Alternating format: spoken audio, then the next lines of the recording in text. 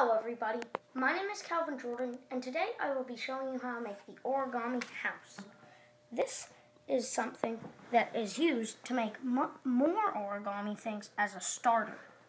So, I'm going to grab a sheet of paper and you take it, I'm going to move the house out of the way so you can see. You fold it side to side just like this. This is how you start the house. Then you fold it this way.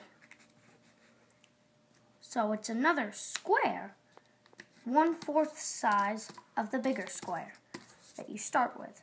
Then you unfold this and you fold it in just like this. Then you do the exact same thing for the other side. Now, you fold this down just like this. This is how the house is made. You do the same thing for the other side for the house, just like this. This makes lots of other things.